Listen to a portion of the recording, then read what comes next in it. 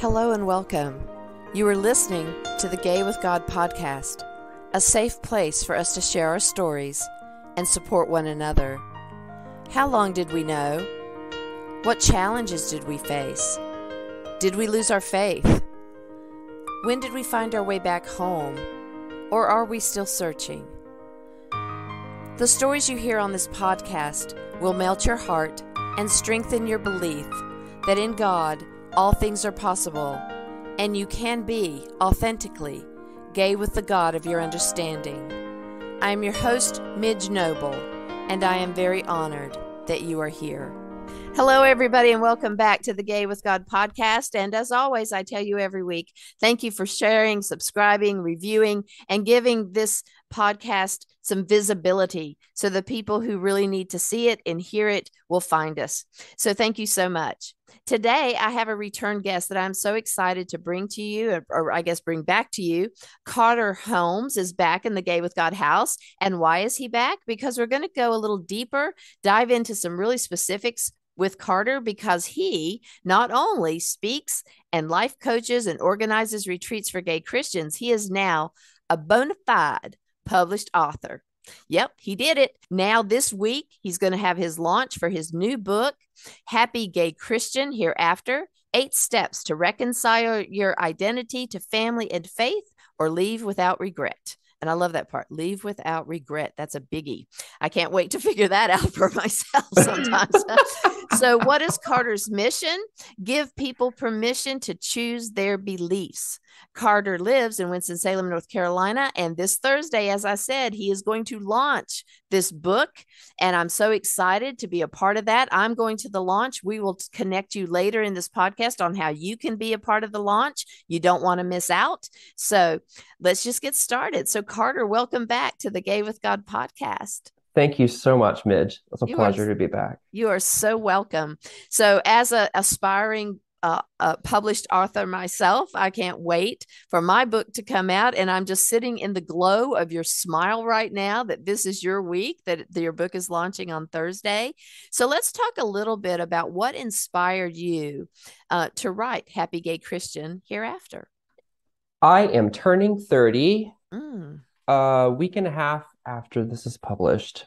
Okay. And it was a dream of mine three years ago to write a book that made use of what I felt like was wasted experience and wasted years of my life mm. in trying to reconcile with people who don't want to reconcile.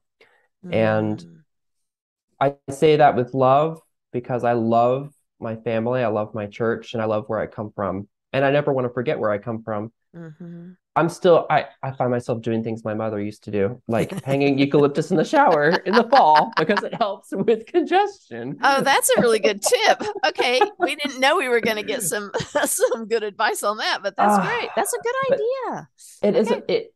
I'm just so happy with how, in a lot of ways, I've been able to leave without regret. What inspired me to write this book is that I pretty much tried every available career under the sun for me, mm-hmm. which included being a concert pianist and then applying to medical school, then working in the medical system, then working in pharmaceuticals, working in the laboratory and research for vaccines, traveling for that work, and working as a professional actor, actually going to medical school. And so I went to medical school for a year the actual event that prompted writing this book was this year. I was in medical school in April. I was doing very well. Dean's list, like top three of my class. And I just realized something was dreadfully wrong with my support system because during COVID, I had, after all those travels, reunited with family and was trying to make things work. And I had done new things, and I'll cover that in my book. They're very constructive exercises you can do on actually reconciling with real people when it's very difficult. But mm-hmm. I just didn't have enough clarity on how to understand quality relationships, knowing when it's actually a supportive relationship and when it's not. Mm-hmm. And so I let people in way too quickly. And I had a past of major depression in 2016 when I first came out. And the only other time I experienced depression was this year it was really bad and I knew where it would go. and the school psychiatrist said that your health is more important. I was like, you're Mm. right, it is. It's more important than these awesome grades and I've worked around the clock for. And so Mm. I, I I checked myself into a mental hospital and I just knew this is the quickest way to get the meds, quickest way to see the doctors. And I was there for a week. And when I came out, I drew with crayons like I had when I was there. And I was just remembering what I used to dream, which is one of my steps. This book is a long time in the making, but I diligently worked every step of this over the next eight weeks after coming out of the hospital. And I realized very quickly who supportive relationships were and who were not. I just realized, you know what? The only thing I have to be out this summer. The psychiatrist has told me not to go back to school. So I need to do this now. It's time. Mm-hmm. I'm ready to speak. mhm. And so while it started out as a, a personal thing, me wanting to achieve a goal before age 30 and wanting to kind of redeem the things I felt bad about for my life, what felt like failures and setbacks, I came to realize that only one third of my book is about me in terms of like me telling my story. I have so many other people in this book who have helped me develop various parts of these steps or been actual clients that I've worked with at this point. Mhm. And so I'm here to give people permission to choose what they believe, but also help people to build high self-esteem by respecting themselves and respecting their Mhm. feelings. So, So these eight steps are actually a culmination of things that you personally have experienced and gone through and learned how to deal with your own reconciling of people's relationships, but also from clients. So that these are these are steps that have worked for either you or someone else, so that you feel pretty confident that if someone needs these steps and follows these steps, that they will also be able to achieve either the reconciliation they want or to leave without the regret. I feel 100% co- confident in promising people that every single one of these steps will give you the love you need to thrive. Mm, It's about you learning to trust yourself and learning to love yourself first by respecting yourself. People say love yourself, and that never helped me because I didn't quite understand what that meant specifically. And maybe it Mhm. does help some people, but I didn't understand how to respect my feelings and go from cleaning myself up on the inside to having something to offer on the outside. And Mhm. so I have personally worked all these steps. Some of my clients, you know, if they don't want to say invest in God, they they may not work that step as much. Or if they don't want to read the Bible at all, they may not work the step on believing in the Bible that you read as much Mhm. either. mhm. But the ultimate goal that I have for myself and for others is to give them the dignity they deserve so that they can, for themselves, take responsibility for their own happiness because happiness is an individual individual responsibility. Yes. Yeah. Yeah. Nobody can and no nothing can make you happy. It is it is an inside job, isn't it? I mean, it, it comes from within, no matter what circumstance. Because if you look at people from very disadvantaged countries, you know, no Wi-Fi, no no football games, no no beer, and they're still and they're still happy. they because they have a sense of their own contribution to the tribe or they have their own sense of contribution to the to the world around them and and they just live in happiness because they choose that. It is a choice. Um not that there's not devastation not that they're uh, unhappy when water comes to their village but but they they don't have that sense of i have to prove myself. You know they are a part of a community and they cooperatively work together to sustain each other. And it's that caring for one another that brings them i think so much joy. And we we lose that here in in the states i think. We we lose that ability to be happy in whatever circumstance we're in. Um so Hmm. let's go into some of these steps let's let's um let's go deeper dive deeper with carter holmes Dive deeper. I will forewarn you, this book is 300 pages. yeah so, we're not I'm going to talk about everything No, we're not going to speak 300 words or no 80,000 words here. yeah Don't no worry. we're not we're not we're going to overview so that therefore you as the listener can then be the reader and get your own stuff from it. But we want to let you know this is kind of like your sneak peek into carter's uh, book and um and what these steps could look like for you. So start wherever you want i guess at step one but um yeah so go ahead. Go ahead. No you go um, ahead. sounds good. So i have rehearsed what I was going to talk about, but I just feel like I should talk about the example client in each of these stories because I have a story, at least one for each step. Okay. So the first step is to reveal your feelings to remember your needs. And when I first worked this step with a client, it was after I worked it for myself in 12 step because if you remember from the prior podcast, I went to a 12 step group for sex addicts because I thought the last thing I can try to change myself is pretend my orientation is because of some sort of lust problem. Mm-hmm. And my sponsor told me I was just gay, I wasn't an addict. And so mm-hmm. I left despondent. But what I did take from it was an anger and fear inventory and something different that I wanted to give people from 12 step is that your feelings are a good thing. Mm. In this step, I worked with a girl named Lucy. She was actually in medical school and she was one of the most stable people I knew. And she came unhinged one, one time. I just went into Carter mode, I guess. I'm just so confident that if you can answer the question of how do you feel, and there are five main feelings, which is happiness, joy, sadness, anger, or fear. If you're asking the question, it's probably anger or fear because you're having a problem. And pinpointing how you feel, she could reveal her thought that was prompting it because thoughts always prompt feelings. And so her thought was that she was scared of being alone as a medical school student and scared of being a professional and going home and being alone.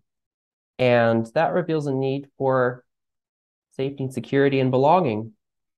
And when you know your need, you can meet your need. And when you meet your needs, very predictably, you feel happiness and joy. Mm-hmm. And that was a really formative moment for me because I was just trying to be a friend to help her. And it unnerved me a bit because I had never seen her stressed out. And Lucy's a pseudonym. All the names are pseudonyms in the book. Mm-hmm. But she's a real person. And so once I did that once, I just had so much confidence in my own feelings. And that gave me the confidence to leave medical school and mm-hmm. go take care of myself. Because I was like, right. no, I know how to take care of myself and I'm confident how I feel, no matter what other people say. That is the first step it's so important to me that and, and, a lot of times clients will come in and they don't like this stuff. I'll do this thing called a feelings journal where there will be a series of questions and i'll start them at the beginning of their day because they're usually having a really hard time. They might be going through a breakup. Sometimes i had this heterosexual woman in kenya as a client. She did a great job on this step. But most people are scared of confronting their angers and fears and they want to skip over it. So the point is is that it's a skill to develop and it's foundational for all the other steps. And that's why I talk so much about it. The others will be quicker. step two. Step, step two. two is um, ache openly, ache openly to grieve because heartbreak ends. And in this step, I take another principle from 12 step, which is being present with other people in your suffering. It's very important and I cover the five steps of grief, which I mentioned in the prior podcast. I use Elizabeth Kubler Ross's five stage model, which is denial, anger, bargaining, depression, and acceptance. But when I started writing this book, the profundity of this step really came to me because I had to grieve a lot of stuff. Mm-hmm. And when I was dealing with my real life problems through writing this book as things became more clear i had to tell some people it's like look you don't accept what i believe if you don't accept how i feel and if you don't accept what i think or need then one i can't be a part of your life. I just can't. And then two the last step of grief is acceptance. And if you never get there you are forever going to be in denial which mm-hmm. prolonged is insanity And if you're forever in anger, you're going to have chronic health issues. Mm-hmm. You might have anger management issues. And if you're ever in bargaining, then you'll be a chronic manipulator. And if you're forever in depression, then you will end up in the hospital. Mm-hmm. And some people can sustain it, they have stronger personalities, but depression is just a symptom of giving away your energy in ways that doesn't meet your needs. Mm. All I can do is give. And if people are serious, they'll take it. If they're not, they won't. Right. And I'll go ahead and skip ahead to the next step, which is three. I'll just uh, one more thing about step two is I like it because I feel like it really rounds out a rock bottom place for someone. If they're able to get through an anger and fear inventory and honor themselves and discover what they need and accept facts as they understand them, and it helps to have a third party there mm-hmm. to help you discern this is your experience. Do you agree these are the facts? Mm-hmm. Because it's very emotional. But if you can latch onto the facts and work on accepting the facts, it can feel like a very difficult experience, but you'll get through it. Yes. As long as you're open about it. If you keep it inside, I can't say you will. It didn't work for me, but aching openly to grieve will end heartbreak. Mm-hmm. I believe that. Mm-hmm. I used to tell kids that I worked with that that our feelings were like a lake with all the water. And if you try to go around it, you're only going to go in circles. But in order to get through that feeling you have to go through the the pain uh, to get to the healing on the other side. And so it's a journey that's sometimes sluggish and you feel like you're getting stuck in the muck. But that if you continue to move forward and you get to the other side, you don't have to keep circling around to that same ache, like you describe it, that ache or that pain or that unresolved Absolutely. feeling. You have to go through the pain to get to the healing. Absolutely. And it takes a while. For, people have to decide what they want to do. And so the next step is to invest in God if you want to. And mm-hmm. I had a mm-hmm. client recently, I'll call him Kyle, who he worked the other steps kind of. He didn't like the first step. And I can understand why. Nobody likes being at rock bottom and nobody likes dealing with their stuff. Nobody right. does. Yeah. But if you do it, then you will come out of it and you'll realize how constructive it is and you'll have a framework for dealing with challenges in life so when he approached God as a person, because in this step, I asked people to put the Bible down and stop going to church for two weeks until step five.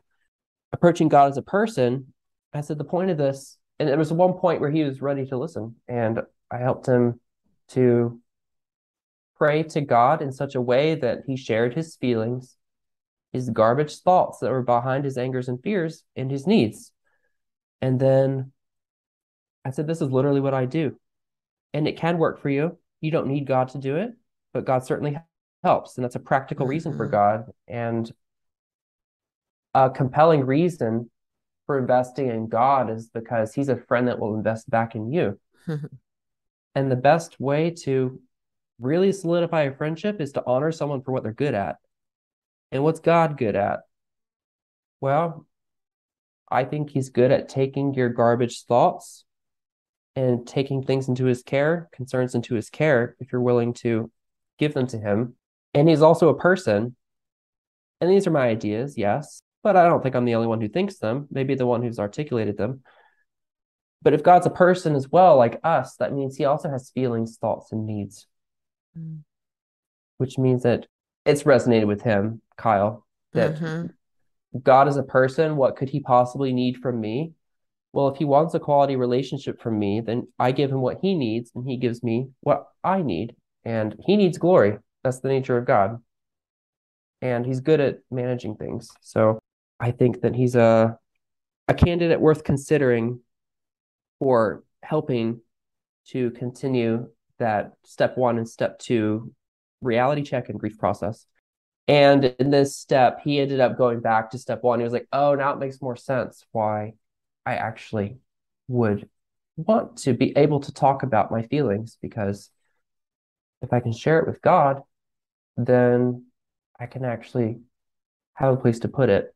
Mm-hmm. Anyway, sometimes it clicks out of order for people, and yeah, it's yeah. just a way of organizing the material that has worked for me. Yeah. Step number four is to notice how forgiveness frees you and give the gift of reconciliation. Mm. So in this step, I go through defining what forgiveness is and what reconciliation is.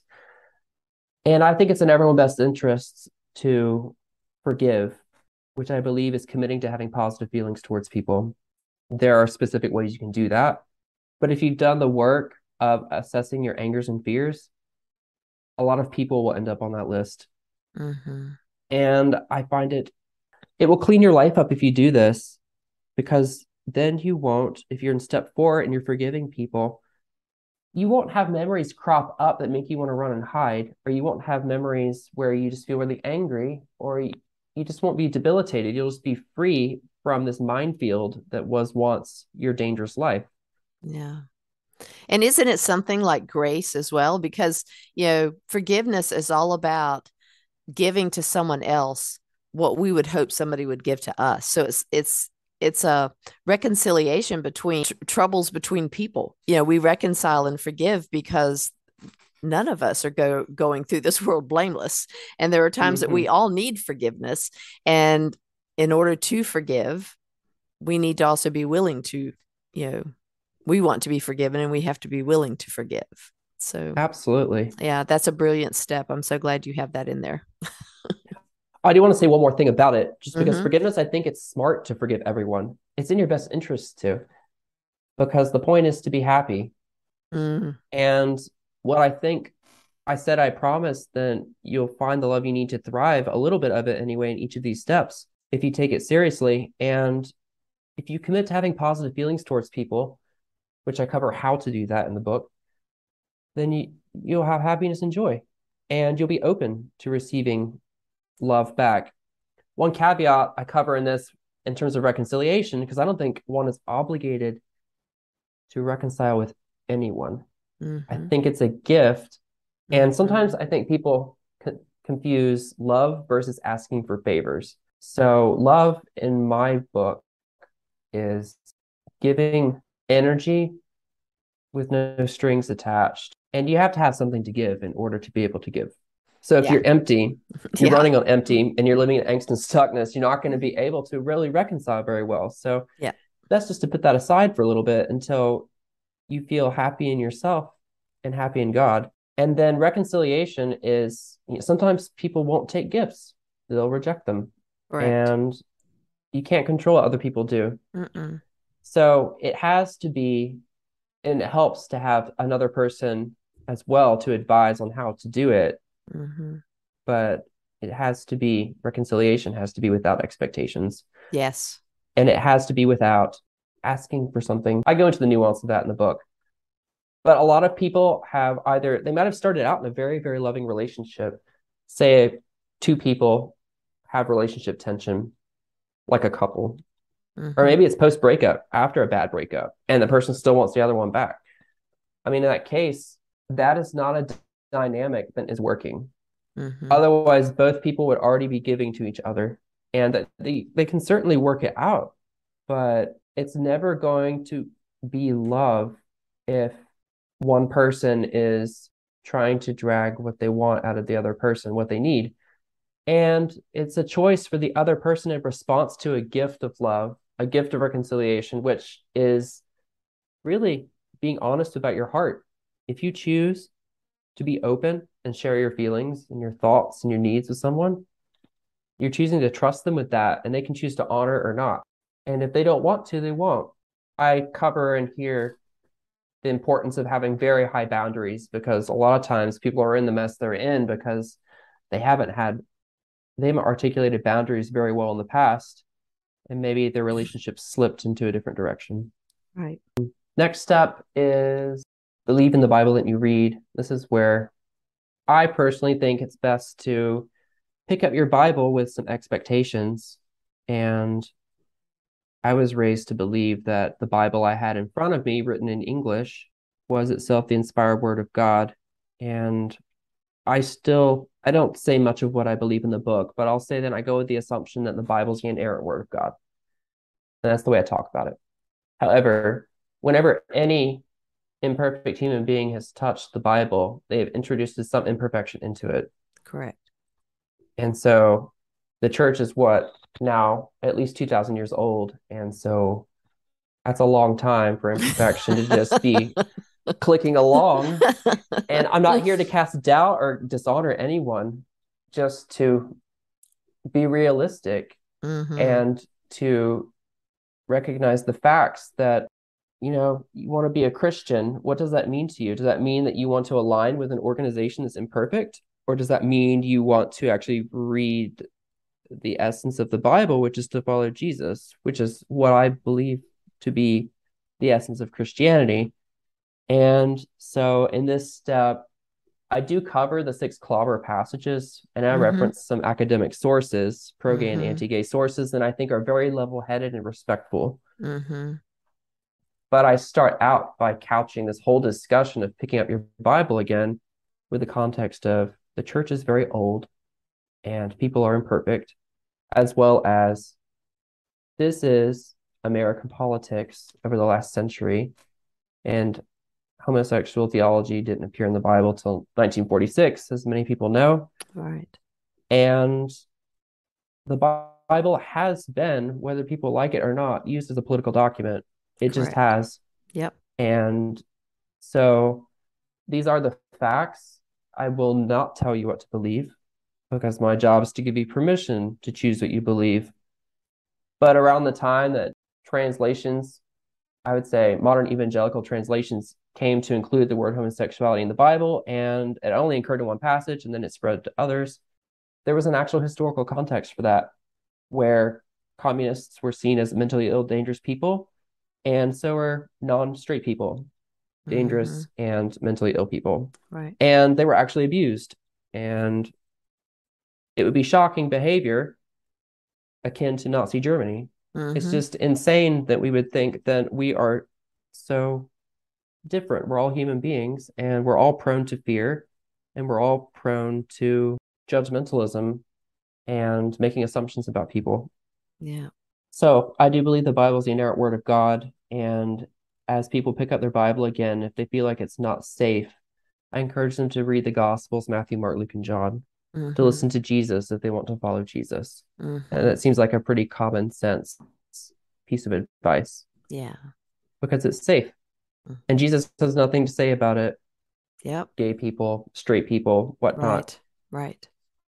And I actually can't, I'm not a theologian, neither am I a therapist or a psychiatrist licensed. I'm just a regular person who feels like he has a little bit of common sense and has thought about stuff and read books. And been through stuff. And been through stuff. but I just want to focus on what matters. And what matters to you is most important to me. So the last three steps are a little quicker. Step six is open your heart to what you used to dream. And that step, I cover three taboo methods I actually used in really getting to what I wanted because my heart was crushed. And I just feel like I didn't know myself. My family didn't talk about things. So I used a chakra healer and learned chakra meditation. Mhm. I actually used tarot cards and I appealed to the prophet Daniel and talk in the last chapter about doctrines of free will, predestination, and how knowing God as a person makes sense of all of that. And then I also talk about doing the wrong things for the right reasons and how the saints in the Bible who, who have there's a it's a huge list. I didn't even write the whole list, but I made a list and the prophet Daniel was taken to captivity and he served Nebuchadnezzar and I think three other monarchs, four total, three different regimes. But like his only objection to becoming one of the learned wise men was dietary. He asked to be vegetarian. And so he would have studied all kinds of dark arts that Old Testament law would have forbidden. And so I'll just say it works for me. I don't push it on anyone, but it has really helped me. And I don't really read for myself so much anymore, but I uh, have found it helpful. If people are in situations where they just cannot talk to the people they used to love or they love still or are causing them grief, sometimes I think someone else can help them to understand the situation for what it is. And it helped me. Right. And then I use the vision board and dream board in this step as well as a discipline for knowing what you want. Asking yourself Mhm. what you want is important Mm-hmm. and what God wants. The uh, seventh step is wait to hear God in your relationships. And in this step, I talk about more mature boundaries as you go out into relationships around you.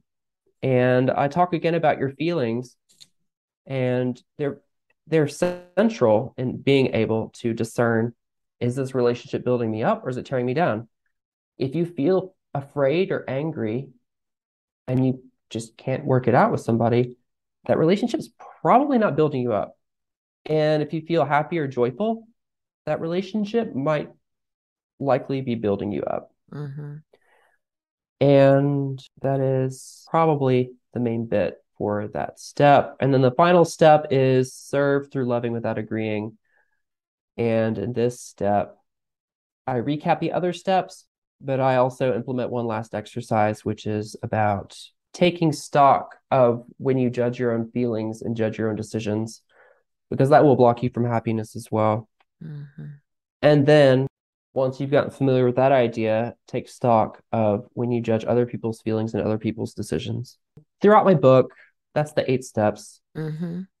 I I love Jesus so much, and I believe I followed him from a very young age. I include a lot of words of Jesus in my book, not as me trying to be right, because I don't think Jesus calls us to be right.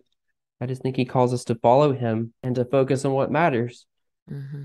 That is the way that I incorporate the Bible into this book. Excellent. Thank you, Carter. And thank you for being willing to to express to others that they have a choice and to express to others that your way may not totally be their way but they get to choose you know and if if you found what you needed if your clients are finding what they needed it is definitely something to consider if you're struggling out there and you really are having difficulty, you know, trying to figure out how to be happy and how to get through some of these difficult times with family, with relationships, with your own coming out process. You know, following these steps are not just for one thing in your life. I mean, these steps are relevant for for living your life really and you know being able to open yourself up to know yourself to forgive yourself to forgive others to reconcile with people and if you can't to release your your connection to that desire to reconcile.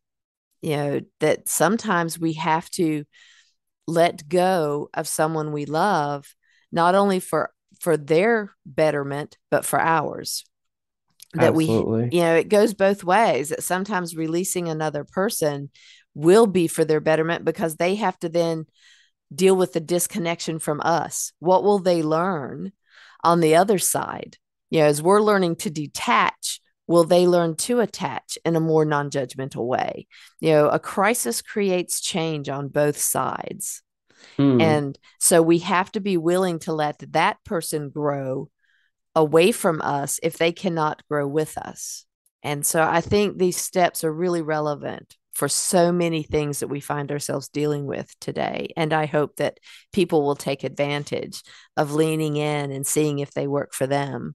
So let's talk about this book launch that's happening this Thursday. This Thursday evening.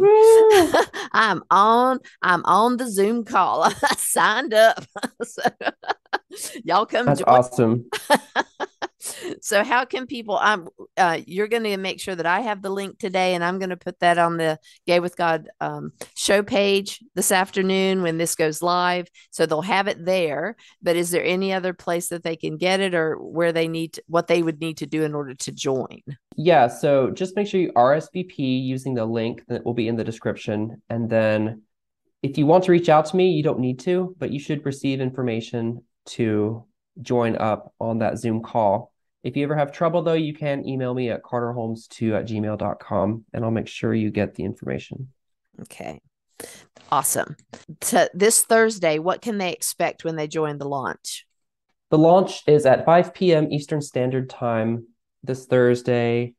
And I think that's the 27th. Correct.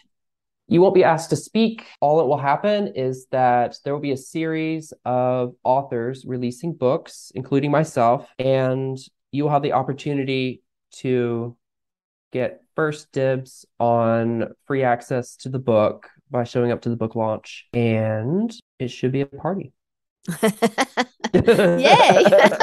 we're going to party. So even though we're not in the same room, bring whatever you want to your Zoom call to party with, and we will all be together. Absolutely. That's awesome. Is there anything else, Carter, before we close uh, today? Is there anything else that is on your heart or mind that you want to share with folks in this time to speak with them? I just want to tell the listeners that Midge does a great job and Aww. that she makes space for people that need to speak and she makes a big difference. So Aww. thank you for listening as well and for supporting her. And Aww. please um, share. I'm not exactly sure how podcasts go, but spread the word because this is a good podcast. Oh, thank you, Carter. Thank you. Um, and I appreciate that. So, guys, um, I want to thank Carter for honoring us again with at the Gay with God podcast and for sharing his faith journey and how he is coming through all the things that he's experienced. And if you want to hear the first podcast um, where we spoke to Carter. That was on 8 15, 2022. So go back and search for the first one. Uh, if you're hearing this one, then you'll definitely want to uh, hear what he talked about before. So find that one and listen to that one as well. And I want to thank you, listeners, for coming back each week, supporting, sharing, subscribing, reviewing this podcast wherever you get your podcasts. If you want more information about the launch, please go to the empoweredmidge.podbean.com uh, show page when this is published, and you will be able to then get the information you need to join on Thursday. If you are listening to this podcast and you are questioning whether you can be gay and be in a relationship with the God of your understanding, if you identify as LGBTQIA, plus, or even if you're not even sure if you're gay yet, God has always been within you. Even when you didn't know it, you have always been gay with God. Check out our Facebook group, Gay with God, where we do a monthly Zoom group entitled My Faith Journey. If you need support to help yourself coming out with your faith journey or your coming out, contact Carter or you can contact me. You can find me at empoweredmidge.podbean.com. Scroll all the way down to the bottom and see how you can connect with me. So thank you, everybody. Stay tuned. See how you can join the Gay with God community. And don't forget, go sign up for that book launch. See y'all next week. Love ya. I want to invite you to become a part of the Gay with God community. How can you do that? Stay connected by messaging me your thoughts and comments in the comment section under the downloads of the show on the Gay with God show page. Subscribe to this podcast wherever you listen and share, share, share so we can increase our community outreach and be a light to those who are struggling to claim their faith. Consider being a sponsor so I can highlight your service in our community. We are all worthy of respect and a relationship with the God of our understanding. I want to thank you in advance for supporting this podcast. Together, we as a community will keep this show visible and our community stronger. Deep gratitude to my friend Tim McClendon of Tim McClendon Music for allowing me to use an excerpt from Interlude 4 a song found on his CD entitled Sundance.